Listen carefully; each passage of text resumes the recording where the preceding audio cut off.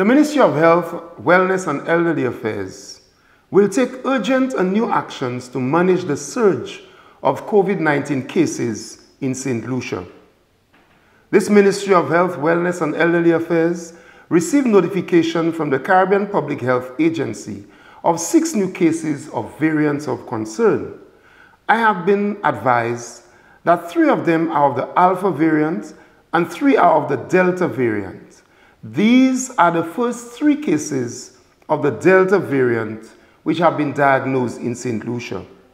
Of the six confirmed cases of the variants of concern, two of them are visitors from the United States of America, three of the four local cases are from the south of the island, and only one of the six cases is fully vaccinated. They are all in a stable condition. The presence of the Delta variant in St. Lucia is of great concern to the government and the health authorities here in St. Lucia. The Delta variant is known to be more contagious with a much higher viral load, up to 80% more transmissible than the regular strain. It is also known to affect a younger population without underlying health conditions.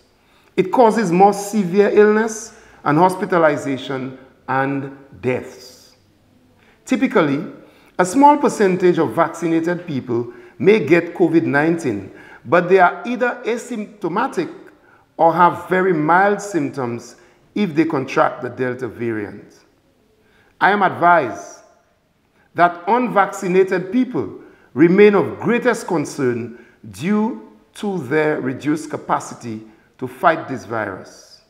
The effects are more severe. Based on the, on the confirmation of the Delta variant in St. Lucia, it is even more important that all recommended public health measures are taken to protect our health and well-being. The St. Lucian public and visitors are urged to get vaccinated at the soonest. The vaccines are available free of charge on a daily basis. Although we do not mandate vaccination, we encourage the public to follow the science and get the vaccine to keep themselves and families safe.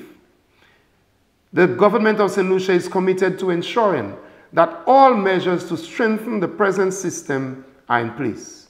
We have requested and received the vaccination plan to increase the uptake of the vaccine in communities.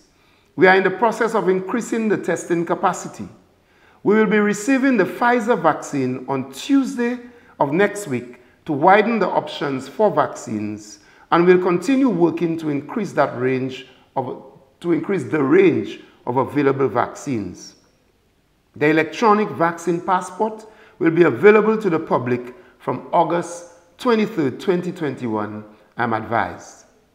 We are also in discussions with a service provider to ensure that conditions at the Victoria Respiratory Hospital are improved.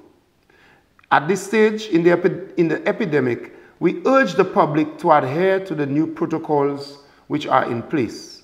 It is imperative that we take all the necessary precautions and it is imperative that we act urgently to fight the infection, to prevent the infection, and to adopt the control measures which will reduce transmission to ourselves and our families at this time.